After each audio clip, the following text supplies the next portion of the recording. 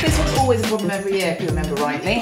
Last year it had sequins on it. Not that Sam and I are obsessed by this or anything. Yeah. They're in these convenient packets for now, but when they're loose biscuits. Yeah. Well, you couldn't put loose biscuits in. Well, you would, but you'd have to turn them upside down and prize this off each time. Yeah. That is an amazing shortbread. Hmm. It's very nice. How much was it? Uh, it was a, it was ten pounds. Now you see that's the same as a beautiful Tesco one, isn't Yeah. it? And a Sainsbury's one. And you know the thing with M&S is That's a good point. they're They're good gifts. as a gift, That's a gift. You go around for a Christmas party with a shortbread Christmas tree tin. Everyone's happy. And I think this is beautiful. Okay. So what what would you go? I'm going five. Wow. Yeah. But I'm going with a four. Okay. Yeah. That's fine. Each one's their own. You're Yeah. wrong. Okay. What about taste?